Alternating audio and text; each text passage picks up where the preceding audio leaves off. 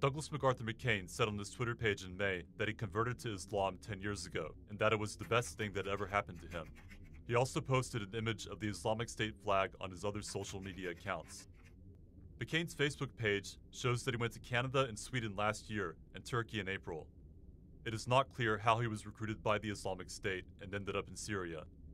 McCain was killed in a gunfight with Free Syrian Army fighters in Marea in northern Syria over the weekend. He and two other Islamic State fighters crept up on a group of Free Syrian Army fighters and killed two of them. The Free Syrian Army fighters fought back and killed McCain and dozens of his fellow militants. McCain's U.S. passport was found in his clothes, along with several hundred dollars in cash. A Free Syrian Army source told NBC News that a second American, who was also an Islamic State fighter, was killed in the same battle.